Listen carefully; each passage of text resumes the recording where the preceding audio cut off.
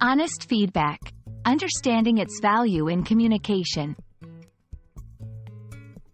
Hello everyone. Welcome to our latest video where we explore the nuances of the English language. Today, we're going to delve into the phrase, honest feedback. This is a commonly used term, especially in professional and personal growth contexts. We'll break down what it means, its importance, and how to give and receive it effectively.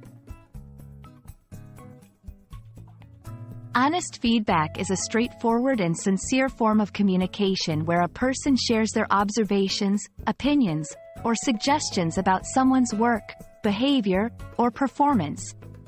Unlike general feedback, honest feedback is characterized by its directness and truthfulness. It aims to provide real insights that can help a person grow, improve, or understand how they are perceived. Honest feedback is crucial for personal and professional development. It helps individuals to 1. Identify areas of improvement. By receiving candid insights, a person can understand where they need to grow. 2. Build stronger relationships. Honesty fosters trust and respect between individuals. 3. Make informed decisions.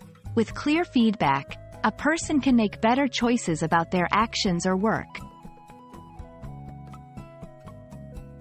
Giving honest feedback can be challenging, but it's important to do it constructively. Here are some tips. 1. Be clear and specific. Avoid vague statements. Be clear about what you're referring to. 2. Focus on the behavior, not the person.